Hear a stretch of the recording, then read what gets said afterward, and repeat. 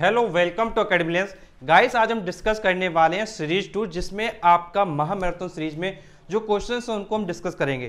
तो इसमें आपके टोटल सिक्सटी थ्री क्वेश्चन हैं, उनको आपको क्या है, आज करना है। तो कैसे क्वेश्चंस करेंगे, वो इस वीडियो में हम देखेंगे।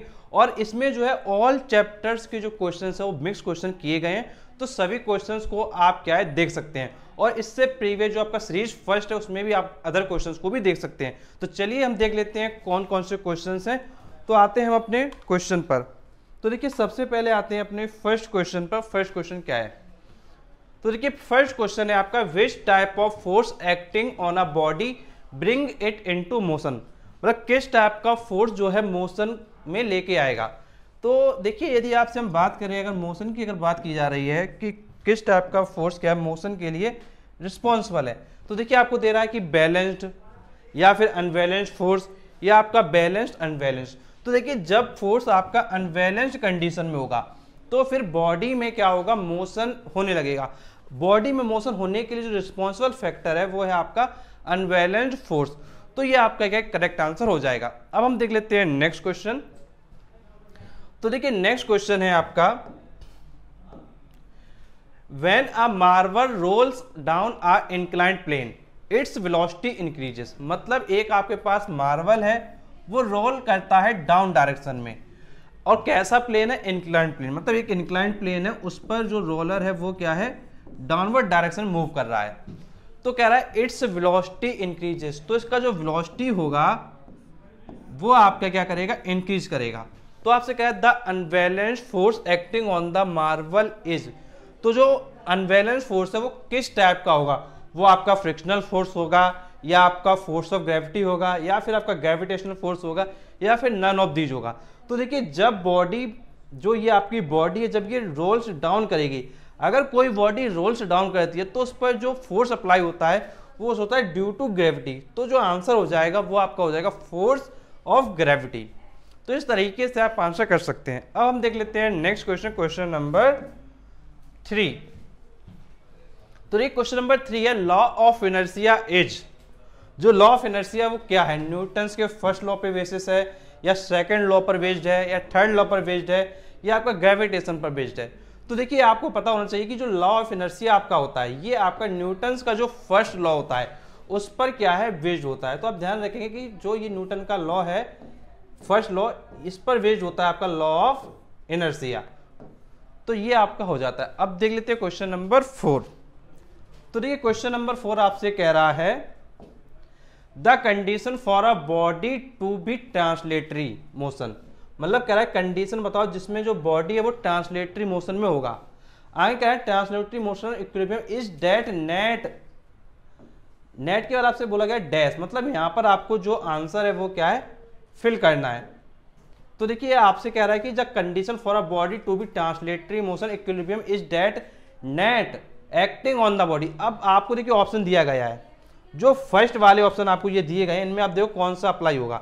अब नेट टॉर्क अप्लाई होगा या नेट फोर्स अप्लाई होगा तो ऑब्वियस सी बात है कि यहाँ पर जो एप्लीकेबल टर्म है, वो आपका फोर्स आ रहा है। तो net force acting on the body is zero and condition for a body to be in rotational motion अब देखिए आपको पता ही अगर रोटेशनल मोशन की बात करेगा तो फिर यहाँ पे कौन सा टर्म आएगा? तो यहाँ पे आएगा नेट टॉर्क तो जो आपका फोर्स पहले हो गया और उसके बाद आपका टॉर्क हो गया। तो जो आपका आंसर हो जाएगा फोर्स कॉमा टॉर्क हो जाएगा। तो जो आपका आंसर करेक्ट हो जाएगा, वो आपका हो जाएगा फोर्स कॉमा टॉर्क इस तरीके से आप इन फोर क्वेश्चन के आंसर्स कर सकते हैं। अब हम देख लेते हैं next question question number five तो ये क्वेश्चन नंबर फाइव है आपका centripetal force is a dash force मतलब सेंटीपिटल फोर्स वो कैसा फोर्स होता है? पहले केवल आपको देखिए क्या करें जब भी इस टाइप के जो भी क्वेश्चन हो, उसमें पहले आप क्या करें?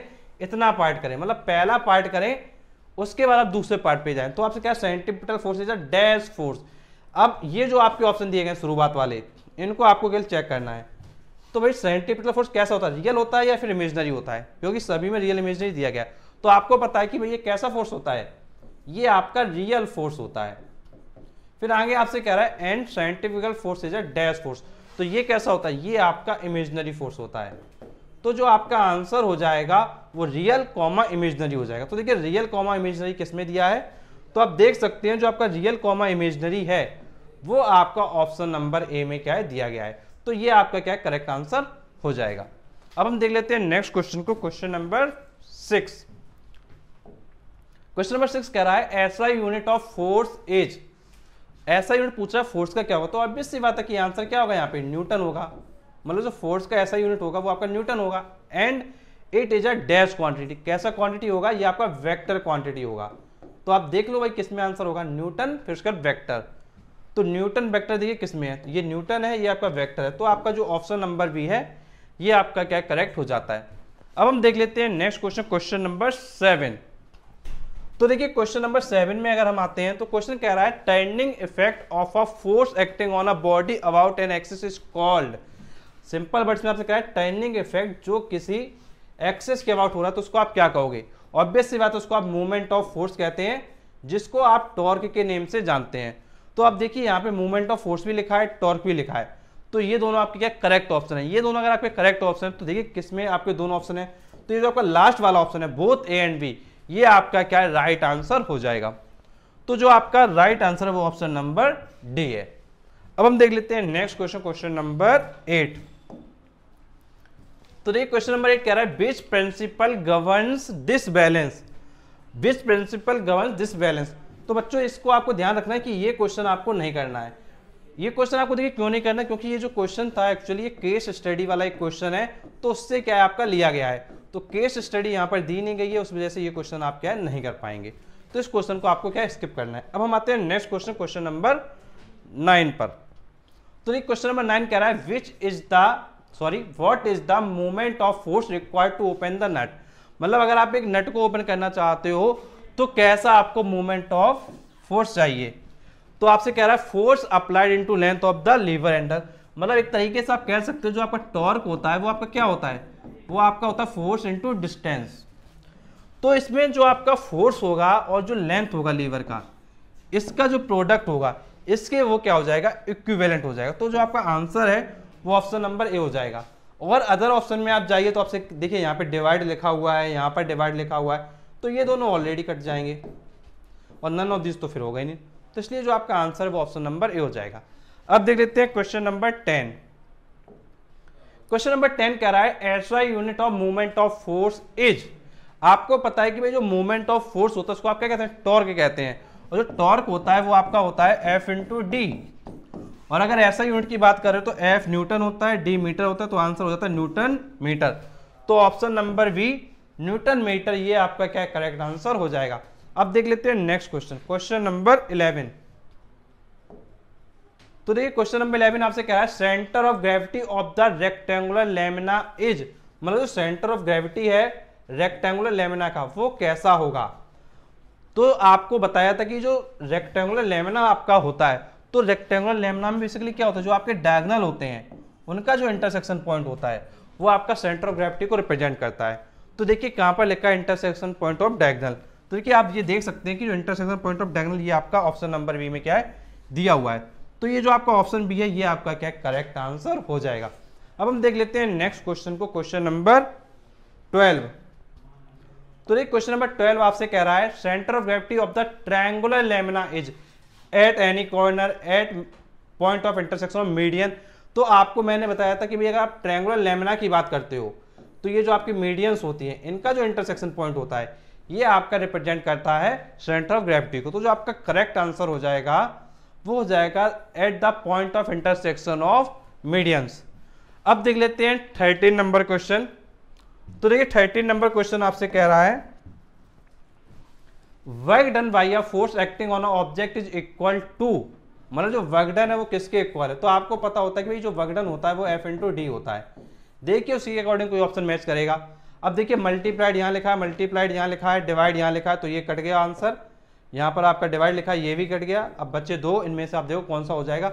Magnitude of force magnitude of force by displacement in the direction of force और यहाँ पर दिया गया displacement in the direction perpendicular to force तो देखिए जो डायरेक्शन जिसमें होता है मतलब डिस्प्लेसमेंट जब फोर्स के डायरेक्शन में होता है तो उसको आप बोलते हैं वर्कडन तो जो आंसर हो जाएगा वो आपका ऑप्शन नंबर ए हो जाएगा। तो इस तरीके से आप अपने क्वेश्चन को क्या है, कर सकते हैं। अब हम देख लेते हैं नेक्स्ट क्वेश्चन अब आपका नेक्स्ट क्वेश्चन है क्वेश्चन नंबर फोर्टीन तो ये क्वेश्चन नंबर फोर्टीन देखिए आपसे क्या कह रहा है। आपसे कह रहा है work has neither magnitude not direction only direction no magnitude only magnitude no direction वो डायरेक्शन एंड मैग्नीट्यूड अब देखिए, आपको पता है कि भाई वर्कडन कैसा क्वांटिटी होता है?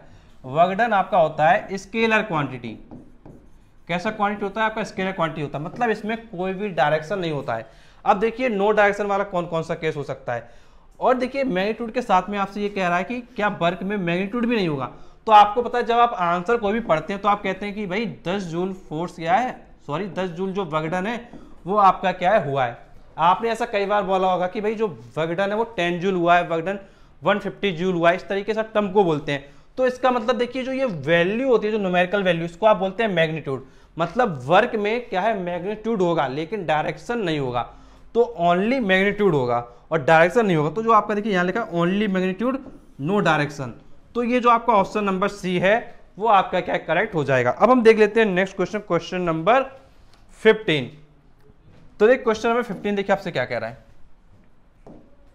क्वेश्चन नंबर 15 कह रहा है आपसे a force of 5 newton acting on a acting on a object मतलब जो आपका फोर्स दिया गया है 5 न्यूटन का, ये आपका अप्लाई किया जा रहा है किसी भी ऑब्जेक्ट पर। अब आगे आपसे कह रहा है कि जो बॉडी है, वो डिस्प्लेस हो रही है two metre in the direction of force तो वर्कडन आप बताओ। तो देखिए, आपको बताया था कि भाई जो वर्कडन होता है, वो फोर्स इनटू डिस्प्लेसमेंट जो वर्कडन आपका होता है, वो आपका होता है फोर्स इंटू डिस्प्लेसमेंट तो देखिए वर्कडन का आप फॉर्मूला लगा दो बस।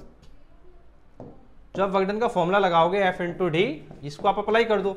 एफ़ आपको दिया गया है फाइव डी आपको दिया गया है टू मल्टीप्लाई करेंगे तो आपका आएगा टेन और ये किसमें आएगा? जूल में आएगा। तो आंसर देखिए टेन जूल हो जाएगा। तो इस तरीके से आप ये क्वेश्चन क्या बहुत इजीली कर सकते हैं। अब हम देख लेते हैं नेक्स्ट क्वेश्चन को क्वेश्चन नंबर सिक्सटीन तो ये क्वेश्चन नंबर सिक्सटीन आपसे कह रहा है ध्यान से देखिए क्वेश्चन नंबर सिक्सटीन को। सिक्सटीन कह रहा है which of the following quantities have same unit मतलब कौन कौन सी क्वांटिटीज हैं जिसमें सेम यूनिट होता है? तो देखिए आपसे कह रहा है वर्क पावर ये दोनों अलग होता है। क्योंकि वर्क आपका वॉट में होता है, ये आपका जूल में होता है। नेक्स्ट है आपका पावर एनर्जी ये भी गलत हो जाएगा क्योंकि एनर्जी और वर्क का सेम होता है। नेक्स्ट है वर्क एनर्जी तो जो आपका वर्क है और जो एनर्जी इनका यूनिट क्या सेम होता है? दोनों का जूल होता है। तो जो आपका करेक्ट आंसर हो जाएगा, वो आपका option number D sorry C हो जाएगा। तो इस तरीके से जो आपका करेक्ट ऑप्शन है, वो ऑप्शन नंबर सी हो जाएगा। अब हम देख लेते हैं नेक्स्ट क्वेश्चन को क्वेश्चन नंबर सेवनटीन तो ये क्वेश्चन नंबर सेवनटीन कह रहा है which of the following possesses potential energy मतलब इनमें जो आपको ये आंसर दिए गए हैं, जो ऑप्शन दिए गए हैं, इनमें से किसमें आपकी पोटेंशियल एनर्जी होगा? फॉलिंग कोकोनट में होगा स्ट्रेस्ड बो में होगा रनिंग कार में होगा, या फिर फ्लाइंग एयरक्राफ्ट में होगा? तो देखिए, आपको ध्यान रखना है, अगर पोटेंशियल एनर्जी की अगर आप कभी बात करते हो तो जो स्ट्रेस्ड का केस होता है, जो आपका स्ट्रेस्ड का केस होता है उसमें आपका पोटेंशियल एनर्जी क्या आपका एग्जिस्ट करता है? तो जो आपका स्ट्रेचिंग वो है, उसमें आपका क्या पोटेंशियल एनर्जी होना चाहिए। तो इस तरीके से आप 17 क्वेश्चन कर सकते हैं। अब हम आते हैं नेक्स्ट क्वेश्चन क्वेश्चन नंबर 18 पर। अब हम देख लेते हैं नेक्स्ट क्वेश्चन क्वेश्चन नंबर 18 को। तो देखिए क्वेश्चन नंबर 18 आपसे कह रहा है what should be the angle between force and displacement to get minimum and maximum work मतलब आपको मिनिमम और मैक्सिमम वर्क चाहिए। तो फिर जो आपका what should be the angle तो आपका जो एंगल है वो क्या होना चाहिए?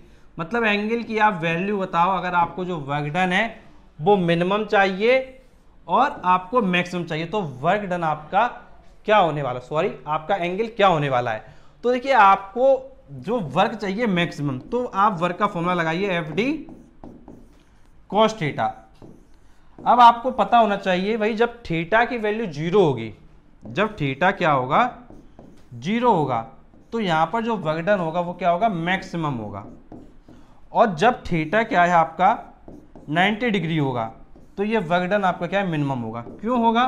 क्योंकि कॉस ज़ीरो की जो वैल्यू होती है, वो आपकी वन होती है। और जो आपकी कॉस्ट नाइन्टी की वैल्यू होती है, वो आपकी ज़ीरो होती है। जब कॉस्ट नाइन्टी ज़ीरो होगा तो वर्कडन भी आपका ज़ीरो हो जाएगा। इस केस में जो वर्कडन होगा, वो आपका, जो इस केस में जो वर्कडन होगा 90 वाले केस में, यहाँ पर जो वर्कडन है वो आपका ज़ीरो हो जाएगा। लेकिन यहाँ पर जो वर्कडन है, वो आपका मैक्सिमम हो जाएगा। तो इसलिए जो आपका थीटा ज़ीरो के केस में वर्कडन मैक्सिमम होगा। तो देखिए, आपसे पहले मिनिमम क्या था, फिर मैक्सिमम क्या था। तो देखिए मिनिमम कब हो रहा है? जब एंगल आपका 90 डिग्री है। तो देखिए, पहले 90 किसमें दिया गया इसमें? और मैक्सिमम कब होगा? जब एंगल ज़ीरो होगा तो बाद में आपको दिया गया ज़ीरो। तो जो आपका करेक्ट आंसर हो जाएगा, वो आपका ऑप्शन नंबर ए हो जाएगा। इस तरीके से आप क्वेश्चन को कर सकते हैं। इस टाइप के जो क्वेश्चन होते हैं, ये आपके इंपॉर्टेंट होते हैं, इनको आप ध्यान रखिएगा। अब हम आते हैं नेक्स्ट क्वेश्चन पे क्वेश्चन नंबर 19 पर। देखिए नेक्स्ट क्वेश्चन है आपका relation between kinetic energy and momentum of a moving body is तो देखिए, आपको बताया था कि जो पी स्क्वायर होता है, वो आपका टू एम के होता है। जो पी स्क्वायर होता है, वो आपका टू एम के होता है और इसी पी को आप लिखते हैं रूट के अंदर टू एम के तो जो आपका आंसर देखिए, कौन सा मैच कर रहा है? ये आपका लिखा है P power two equal to two M K तो ये जो आपका आंसर है वी वाला, वो आपका क्या करेक्ट हो जाएगा। अब हम देख लेते हैं next question question number twenty तो देखिए क्वेश्चन नंबर ट्वेंटी आपसे देखिए क्या कह रहा है। क्वेश्चन नंबर ट्वेंटी आपसे कह रहा है horsepower is a unit of तो देखिए, आपको मैंने बताया था कि जो हॉर्स पावर होता है, वो किसका यूनिट होता है? वो पावर का यूनिट होता है। तो जो आंसर हो जाएगा, वो आपका ऑप्शन नंबर डी पावर हो जाएगा। अब देख लेते हैं नेक्स्ट क्वेश्चन को क्वेश्चन नंबर ट्वेंटी वन तो देखिए ट्वेंटी वन क्वेश्चन देखिए, आपसे कह रहा है which of the following relation is true मतलब कौन सा रिलेशन आपका क्या है? ट्रू है, ये आपको बताना है। पहला ऑप्शन आपको दिया गया power equal to F into V तो आपको मैंने बताया था कि भाई जो पावर होता है, वो आपका एफ़ इन टू वी होता है। तो ये जो आपका ऑप्शन है, वो आपका सही हो जाएगा। फिर बाकी का आपको पता है फोर्स इंटू डिस्प्लेसमेंट ये गलत होता है वर्क इंटू टाइम ये भी गलत होता है, और एनर्जी इंटू टाइम ये भी गलत होता है।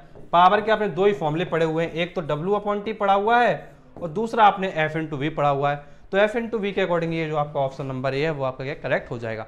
अब हम देख लेते हैं क्वेश्चन नंबर ट्वेंटी टू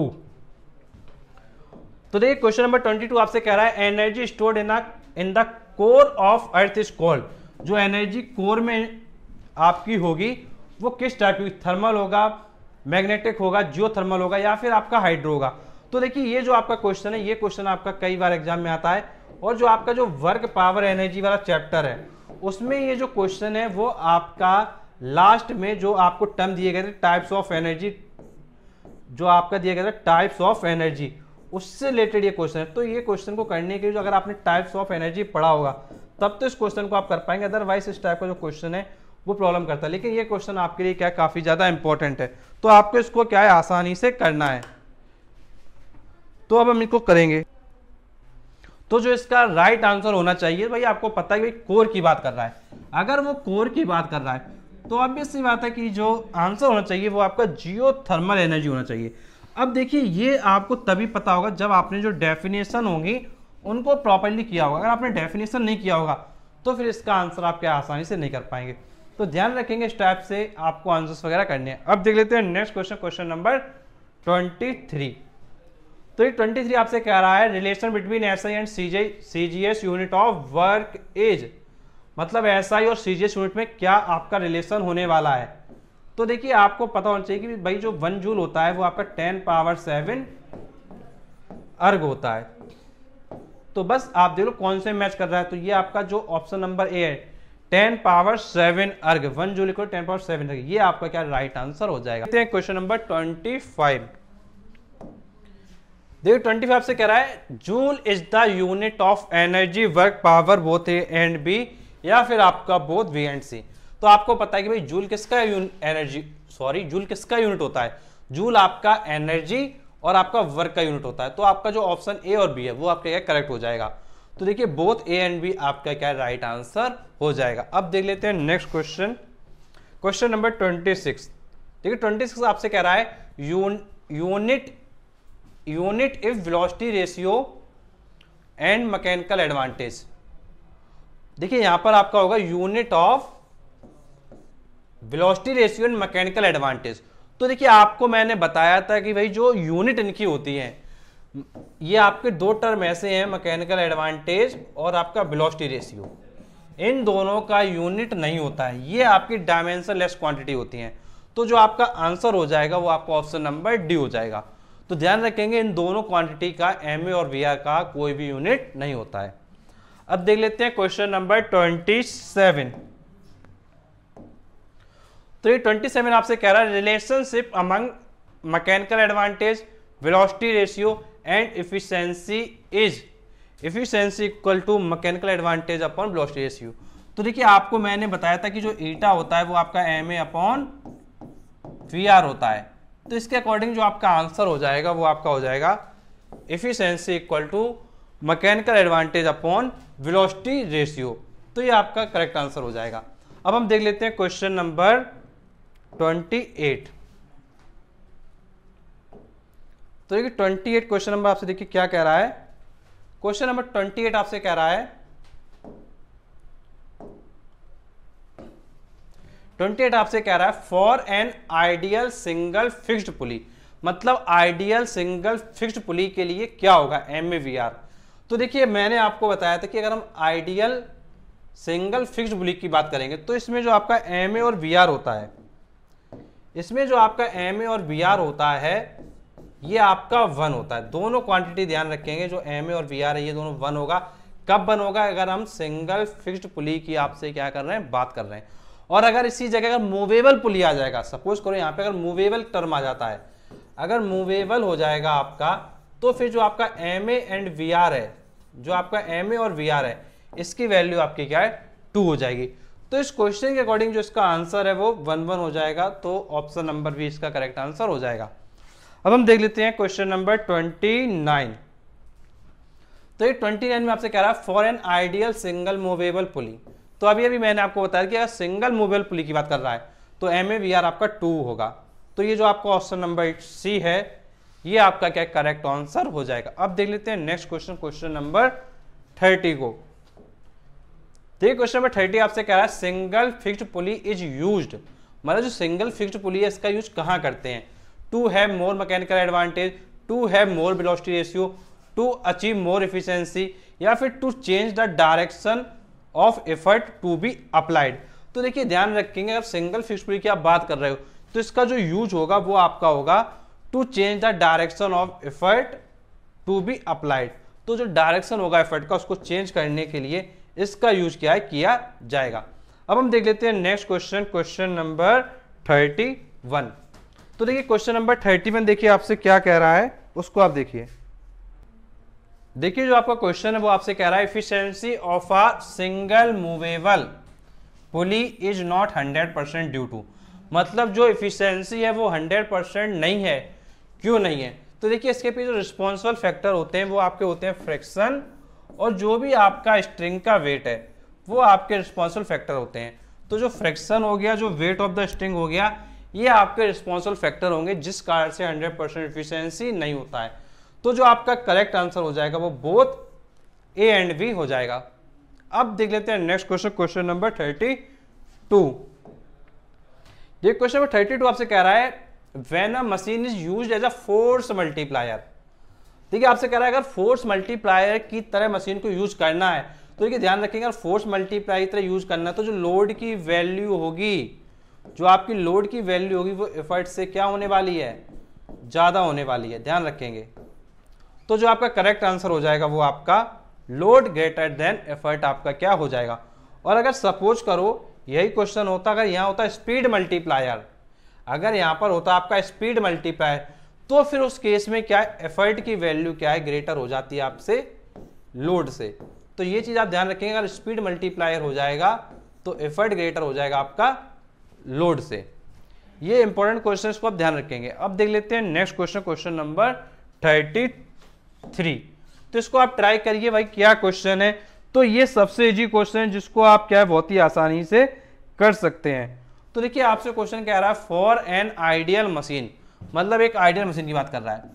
तो भाई देखिए, आइडियल के केस में हर कोई जानता है कि भाई जितना इनपुट हो, जितना आपका इनपुट हो, उतना ही आपका आउटपुट हो। बस आंसर हो जाता है। तो आंसर क्या हो जाएगा? इनपुट इक्वल टू आउटपुट तो ये आपका क्या करेक्ट आंसर हो जाएगा। अब देख लेते हैं next question question number thirty four question number thirty four आपसे कह रहा है speed of light in vacuum is अरे ये सबको पता होता है कि भाई जो स्पीड होती है वो आपकी three into ten power eight metre per second होती है। इसको ध्यान रखेंगे। और ये ध्यान रखेंगे ये प्लस में होता है प्लस में माइनस में नहीं होता है। तो देखिए कौन सा ऑप्शन मैच है? तो ये आपका मैच कर रहा है option number A three into ten power eight metre per second अब लेते हैं next question question number thirty five question number thirty five से कह रहा है when light ray travels from denser to rarer मतलब एक लाइट रेव जो आपकी डेंसर से रेयर में जा रही है तो फिर क्या होगा? आई इक्वल होगा आर के आई ग्रेटर होगा, या फिर आई लेस होगा आर से, या आई आर का प्रोडक्ट ज़ीरो होगा, क्या होने वाला है? तो देखिए आपको क्या करना है, आपसे क्या डेंसर से रेयर में जाना है। तो देखिए आपने डायग्राम पढ़ा होगा इस टाइप से। इधर आपका रेयरर मीडियम जिसको आप एयर कहते हैं। इधर आपका डेंसर मीडियम जिसको आप गिलास कहते हैं। और रे ऑफ़ लाइट आपकी क्या है? डेंसर से रेयरर में जा रही है। तो देखिए, आप पहले रे इंसिडेंट कराते हैं। इस पॉइंट पे इंसिडेंट होती है तो यहाँ से हम क्या करेंगे?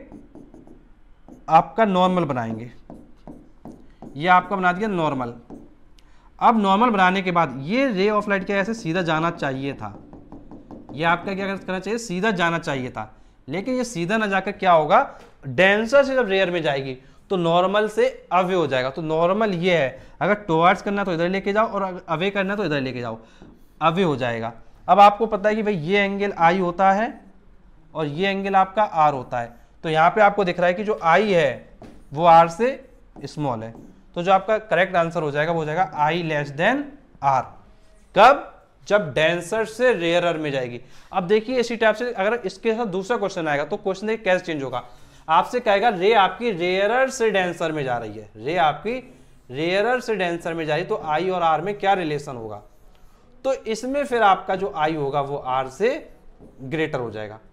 तो देखिए, जो भी पॉसिबल कंडीशंस हो सकती हैं, उन कंडीशंस के अकॉर्डिंग आपको सारे आंसर क्या करने हैं। अब हम देख लेते हैं क्वेश्चन नंबर थर्टी सिक्स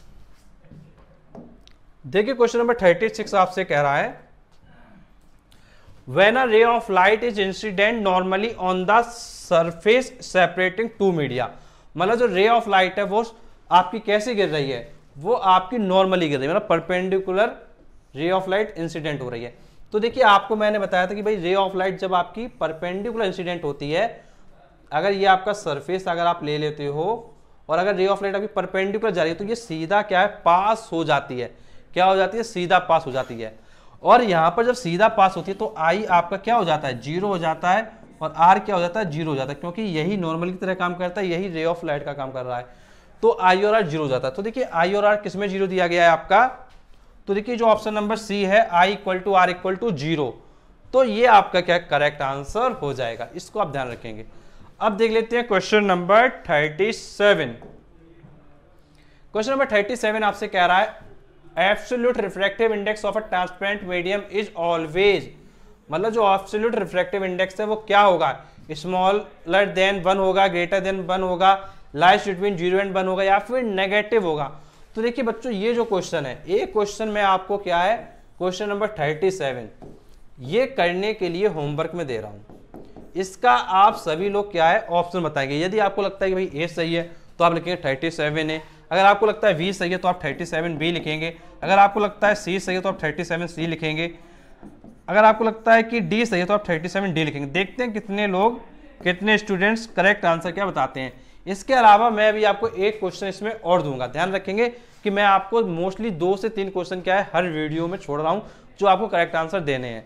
तो देखते हैं कितने लोग इसका सही आंसर देते हैं। अब करते हैं हम लोग नेक्स्ट क्वेश्चन पर।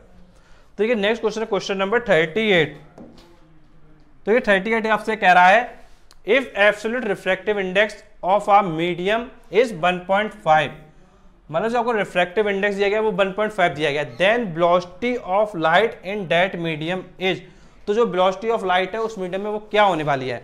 तो देखिए, अगर हम बात करते हैं कि रिफ्रैक्टिव इंडेक्स आपको दिया गया किसी मीडियम का तो किसके रिस्पेक्ट में होगा? एयर के रिस्पेक्ट में होगा। तो एयर के रिस्पेक्ट में होगा तो हम इसको क्या लिखेंगे? इसको हम लिख सकते हैं वेलोसिटी के टर्म में V A upon B M मतलब velocity in air upon velocity of medium. Velocity in air क्या होता है? Three into ten power eight क्या होता है आपका? Three into ten power eight तो इसको आप लिखेंगे three into ten power eight और अपॉन में आप लिखेंगे बी एम क्योंकि बी एम आपको फाइंड करना है। इधर आपका हो जाएगा वन पॉइंट फाइव तो जो वी एम की वैल्यू आपकी आ जाएगी तो वी एम आपका आ जाएगा three into ten power eight upon में वन पॉइंट फाइव और वन पॉइंट फाइव को आप लिख सकते हैं टू थ्री बाई टू तो देखिए, इसको मैं रेज करके क्या कर देता हूँ? थ्री बाई टू लिख देता हूँ। मतलब थ्री नीचे आ जाएगा थ्री नीचे आ जाएगा और टू ऊपर चला जाएगा थ्री बाई टू थ्री से थ्री कैंसिल हो गया तो जो आपका आंसर आ गया वो आ गया two two into ten power eight two into ten power eight metre per second तो ये आपका क्या करेक्ट आंसर हो जाएगा। तो देखिए, किसमें आपको ऑप्शन मैच कर रहा है? तो जो आपका ऑप्शन मैच कर रहा है, वो आपका मैच कर रहा है option number V two into ten power eight ये आपका क्या करेक्ट आंसर हो जाएगा। अब देख लेते हैं क्वेश्चन नंबर थर्टी नाइन तो देखिए थर्टी नाइन आपसे कह रहा है light passes from one medium to another undeviated ban मतलब लाइट रे एक मीडियम से दूसरे मीडियम में जा रही है और उसमें डेविएशन नहीं होने वाला है। तो किस कंडीशन में नहीं होने वाला है? तो देखिए मैंने आपको बताया था कि जो रे ऑफ़ लाइट है, अगर नॉर्मली इंसिडेंट करती है, जैसे ये आपका मीडियम है, ये आपका कोई सरफेस है। जैसे हम ले लेते हैं, ये आपका कोई सरफेस है। अब रे ऑफ़ लाइट क्या आपकी वर्टिकली फॉल कर रही है? तो फिर आपकी क्या है? इसमें कोई भी डेविएशन नहीं होगा। तो यहाँ क्या होता था? आई ज़ीरो था आर ज़ीरो था। और ये कंडीशन कब आ रही थी? जब ये दोनों कंडीशन आपकी क्या फॉलो कर रही थी। तो देखिए कौन सी कंडीशन फॉलो कर रहा है? Angle of incidence is zero ये फॉलो कर रहा है बिल्कुल, ये आपका करेक्ट हो सकता है। आगे करा है refractive indices of both media are same तो देखिए एक कंडीशन ये भी मैंने आपको बताया था कि भाई जो आपकी जो रे ऑफ़ लाइट पास होती है वो आपका सीधा कब पास हो सकती है? एक कंडीशन तो थी कि भाई ये क्या नॉर्मली इंसिडेंट करे। और दूसरी कंडीशन थी कि भाई अगर मीडियम दोनों तरफ़ सेम होता है, अगर मीडियम दोनों तरफ़ सेम होता है तो भी रे ऑफ़ लाइट क्या है? आपका सीधा पास हो जाएगा, कोई भी उसमें डेविएशन नहीं होगा। ये भी फिगर हो सकता है, ये भी फिगर हो सकता है। तो उस केस के अकॉर्डिंग ये भी आपका सही है। तो जो आपका राइट right आंसर हो जाएगा, वो ए एंड वी हो जाएगा। तो ये जो आपका ऑप्शन नंबर डी है, उसमें आपका ए एंड वी क्या, दोनों चॉइसेस क्या आपकी ली गई है। तो इस तरीके से ये आंसर क्या है? डी वाला करेक्ट हो जाएगा। अब देख लेते हैं next question question number forty question number forty आपसे कह रहा है when light passes from denser to rarer मतलब रे ऑफ़ लाइट की आपकी डेंसर से रेयर में जाती है तो एम्पलीट्यूड में क्या होने वाला है, ये आपको बताना है। फिर आगे आपसे कह रहा है, जब रे ऑफ़ लाइट आपकी जो है रेयर से डेंसर जाने वाली है तो क्या होने वाला है? तो आप ध्यान रखेंगे, जब रे ऑफ़ लाइट डेंसर मीडियम में आती है, जब रे ऑफ़ लाइट डेंसर मीडियम में आती है मतलब रेयर से डेंसर में आएगी और जब डेंसर के अंदर आती है तो फिर आपका जो एम्पलीट्यूड होता है, वो आपका डिक्रीज कर जाता है। तो ध्यान रखेंगे कि भाई, आपकी रे ऑफ़ लाइट रेयर से डेंसर में आ रही है तो ये क्या कर जाएगा? डिक्रीज कर जाएगा। और अगर ये आपका डिक्रीज कर जाएगा तो देखिए डिक्रीज किसमें है? इसमें डिक्रीज है, इसमें डिक्रीज है। लेकिन उसका उल्टा केस लिखा है डेंसर से जब एयर में जाएगी तो इसका उल्टा हो जाएगा। मतलब डिक्रीज की जगह यहाँ इंक्रीज हो जाएगा। तो जो आंसर हो जाएगा वो आपका इंक्रीज कॉमा डिक्रीज हो जाएगा। तो देखिए किसमें इंक्रीज डिक्रीज दिया गया है? ऑप्शन नंबर सी में ये आपका दिया गया इंक्रीजेस कॉमा डिक्रीजेस तो ये आपका क्या राइट आंसर हो जाएगा। अब देख लेते हैं next question question number forty one तो ये क्वेश्चन नंबर फोर्टी वन आपसे कह रहा है due to reflection of light through a glass block मतलब जो रिफ्लेक्शन हो रहा है वो आपका ग्लास ब्लॉक के थ्रू हो रहा है। आगे क्या है? The lateral the lateral disperse the lateral dispersion on angle of incidence thickness of block refractive index of the block all of अब तो देखिए, ये आपकी चार चॉइसेस दी गई हैं। अब इन चार चॉइसेस में से कोई भी एक चॉइस आपकी क्या करेक्ट होने वाली है? अब क्वेश्चन मार्क ये बना हुआ है कि भाई इसका जो आंसर है, वो क्या हो जाएगा? तो देखिए, एक मैं आपको ट्रिक बता रहा हूँ। उस ट्रिक को आप मान के चलिए कि कुछ क्वेश्चन में फॉलो करेगा। बट ज़रूरी नहीं कि हंड्रेड परसेंट करे। तो मैं आपको एक ट्रिक ट्रिक ये बता रहा हूँ, जिस ऑप्शन में आपका ऑल लगाओ ऑल ऑफ़ दीज जिस ऑप्शन में आपका ऑल ऑफ़ दीज लगाओ, आप मान के चलिए कि भाई 99 परसेंट चांसेस हैं कि वही आंसर होगा। बट ध्यान रखिएगा कि ऐसा होना कोई कंपलसरी नहीं है। बट अगर हम इसमें आते हैं तो इसमें अगर हम ऑल ऑफ़ दिस लगा दें इस ट्रिक के माध्यम से तो ये आंसर बिल्कुल करेक्ट है, बिल्कुल गलत नहीं है। तो ध्यान रखें कि ऐसा हंड्रेड परसेंट श्योरिटी नहीं कि भाई ऐसा हो कि ऑल ऑफ़ दिस वाला हमेशा सही हो। बट अगर आपको कभी ना आए कोई क्वेश्चन किसी में ऑल ऑफ़ दिस लगाओ और आपको तुक्का मारना हो तो ये तुक्का मार देना ऑल ऑफ़ दिस वाला। तो आप मान के चलिए कि सही होना चाहिए बट हंड्रेड परसेंट गारंटी नहीं है। अब आते हैं नेक्स्ट क्वेश्चन पर question number forty two question number 42 है आपका which of the following has the highest refractive index किसमें रिफ्रैक्टिव इंडेक्स आपका हाइएस्ट होता है? तो भाई जो जितना ज़्यादा हार्ड होता है, उसका रिफ्रैक्टिव इंडेक्स उतना क्या ज़्यादा होता है। तो जो आपका डायमंड है, इसको आपका पता होगा कि भाई इसकी जो कटिंग वगैरह वो है, बहुत ज़्यादा टफ होता है। तो इसका जो रिफ्रैक्टिव इंडेक्स है, वो क्या होगा? हाईएस्ट होगा। तो इस, आपका जो ऑप्शन ए है डायमंड ये आपका क्या करेक्ट हो जाएगा। अब आते हैं क्वेश्चन नंबर 43 पर। तो देखिए 43 आपसे कह रहा है air bubble in glass block when from above appears to be raised due to मतलब अगर आपका जो बबल है, वो आपका ऊपर उठा हुआ दिखता है, ऐसा क्यों लगता है आपको? ऑब्वियस सी बात है कि भाई, अगर आप वाटर की बात कर रहे हो तो इसका रीजन क्या है आपका? रिफ्रैक्शन तो रिफ्रैक्शन ऑफ़ लाइट देखिए, इसमें आपका दिया गया है ऑप्शन नंबर ए में। तो जो आपका रिफ्रैक्शन है, वो इसका क्या आंसर हो जाएगा? अब आते हैं क्वेश्चन नंबर 44 पर। क्वेश्चन नंबर 44 आपसे कह रहा है when light travels from denser to rarer मतलब जो आपकी लाइट है वो डेंसर से रेयरर मीडियम में जा रही है। If the angle of incidence equal to critical angle मतलब आई आपका सी के इक्वल है और रे ऑफ़ लाइट आपकी डेंसर से रेयरर में जा रही है। तो आपसे कह रहा है, क्या होने वाला है? आपसे कह रहा है then angle of refraction is तो एंगल ऑफ़ रिफ्रैक्शन आपको बता रहा है। तो देखिए, ये कंडीशन कौन सी हो रही है? ये आपके क्रिटिकल एंगल की कंडीशन हो रही है। इस तरीके से आपने देखिए डायग्राम बनाया होगा। ये आपका नॉर्मल को रिप्रेजेंट करता है, ये आपकी किसी सरफेस को रिप्रेजेंट करता है, ये आपका डेंसर मीडियम होता है, ये आपका रेयर मीडियम होता है, रे आपकी जाती है और ये आपकी रे इधर आ जाती है तो आपका आर नाइन्टी होता है। कब होता है? जब आई की वैल्यू सी के इक्वल होती है। जब आई और सी इक्वल होता है तो आपका आर नाइन्टी होता है। तो एंगल ऑफ़ रिफ्लेक्शन आपसे पूछा गया तो आपका आंसर क्या हो जाएगा? आर की वैल्यू 90 इसका मतलब ऑप्शन नंबर बी आपका क्या है? करेक्ट आंसर हो जाएगा।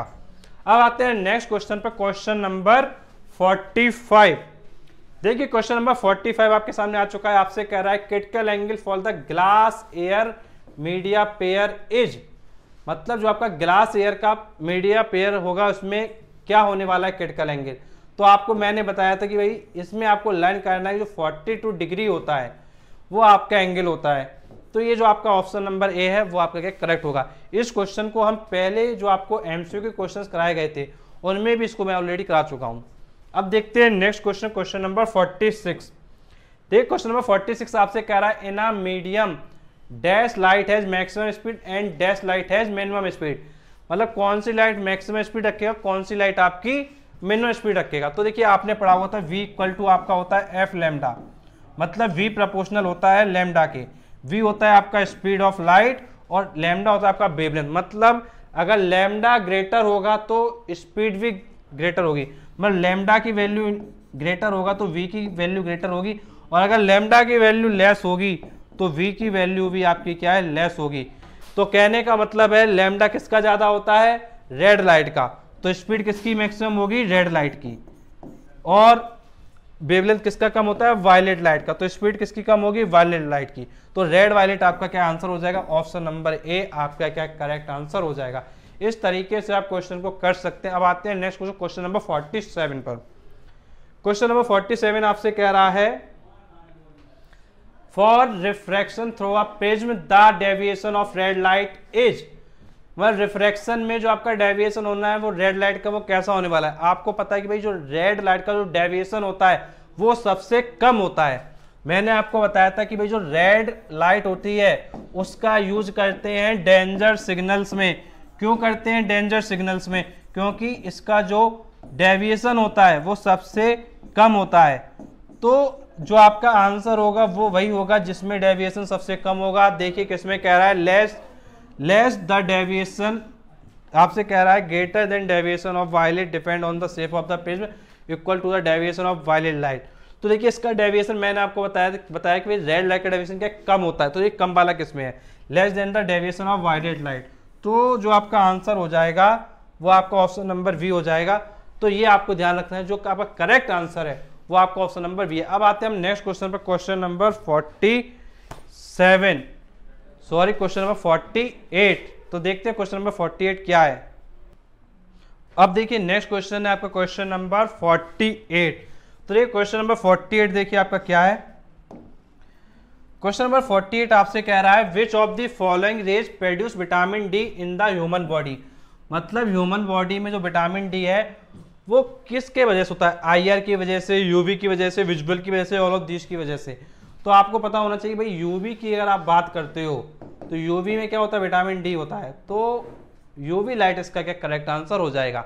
अब देख लेते हैं नेक्स्ट क्वेश्चन क्वेश्चन नंबर 49 देखिए 49 आपसे कह रहा है which of the following rays is use for night photography तो आपको ध्यान रखना है कि जो आईआर रेडिएशन होता है, जिसको आप इंफ्रारेड रेडिएशन कहते हैं, वो आपका नाइट फोटोग्राफी में यूज़ होता है। तो जो आपका आंसर हो जाएगा, वो आपका हो जाएगा इंफ्रारेड तो ये आप ध्यान रखेंगे, ये क्वेश्चन काफ़ी इंपॉर्टेंट है, ये कई बार आपके एग्ज़ाम में क्या पूछा जा सकता है। अब आते हैं next question question number fifty पर।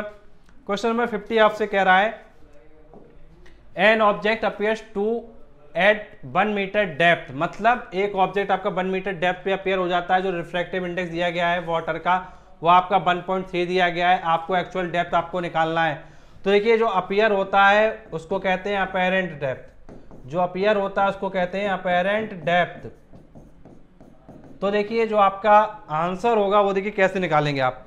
आप निकालेंगे, जो आपका म्यू की वैल्यू होगा, वो आपका होगा real depth upon apparent depth mu की वैल्यू आपको दी गई है 1.35 1.35 इक्वल टू रियल डेप्थ आपसे क्या करा? एक्चुअल डेप्थ मतलब आपको रियल डेप्थ बताना है तो रियल डेप्थ आप यहाँ लिखो upon apparent depth apparent depth आपसे कह रहा है वन मीटर तो यहाँ वन लिखो तो जो आपका रियल डेप्थ हो जाएगा वो आपका 1.35 point three five into one हो जाएगा. ये आपका आ जाएगा 1.35 तो ये आपका क्या है? करेक्ट आंसर हो जाएगा 1.35 मीटर तो ऑप्शन नंबर ए आपका क्या करेक्ट आंसर हो जाएगा. अब देखते हैं नेक्स्ट क्वेश्चन क्वेश्चन नंबर 51 तो देखिए क्वेश्चन नंबर 51 देखिए आपसे क्या कह रहा है? तो देखिए हम क्वेश्चन नंबर 51 पर अपना आते हैं. तो देखिए क्वेश्चन नंबर 51 आपसे कह रहा है the matter of substances through which तो देखिए, आपसे कह रहा है matter of substances through which sound is transmitted is called और बेस सी बात है कि इसका आंसर क्या होगा? मीडियम मतलब जो साउंड ट्रांसमिट होती है, वो कहाँ से होती है? मीडियम से होती है। तो जो आपका करेक्ट आंसर हो जाएगा, वो आपका हो जाएगा ऑप्शन नंबर बी मीडियम अब आते हैं नेक्स्ट क्वेश्चन पर क्वेश्चन नंबर 52 तो ये क्वेश्चन नंबर 52 आपसे कह रहा है sound is mechanical wave electromagnetic wave not a wave a particle तो देखिए, ये जो आपका साउंड होता है, ये आपका एक मैकेनिकल वेव होता है तो आपका जो आंसर हो जाएगा वो आपका ऑप्शन नंबर ए हो जाएगा। अब आते हैं नेक्स्ट क्वेश्चन क्वेश्चन नंबर 53 तो ये क्वेश्चन नंबर 53 आपसे कह रहा है how how the speed of sound changes when we go from solid to gases medium मतलब जो आपकी स्पीड ऑफ़ साउंड है, वो कैसे चेंज होती है? जब आप सॉलिड से गैस में आने वाले हो। तो देखिए, जब आप सॉलिड से गैस में आने वाले हो तो ये वैल्यू आपकी क्या करती है? डिक्रीज करती है। तो ये क्वेश्चन आप ध्यान रखिएगा, ये क्वेश्चन थोड़ा इंपॉर्टेंट है आपके लिए।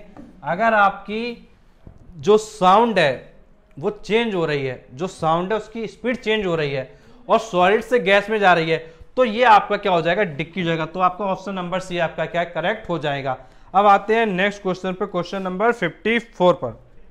देखिए नेक्स्ट क्वेश्चन आपका आ चुका है क्वेश्चन नंबर 54 तो देखिए 54 देखिए आपका कैसे करेंगे? आपसे कह रहा है are the laws of reflection of light followed by sound क्या जो आपके लॉज होते हैं रिफ्लेक्शन के, क्या वो साउंड पर भी एप्लीकेबल है या फिर नहीं है? तो भाई, ये साउंड के लिए एप्लीकेबल होते हैं तो भाई इसका आंसर यस होगा तो ऑप्शन ए आपका क्या है? करेक्ट हो जाएगा। अब आते हैं नेक्स्ट क्वेश्चन क्वेश्चन नंबर 55 पर।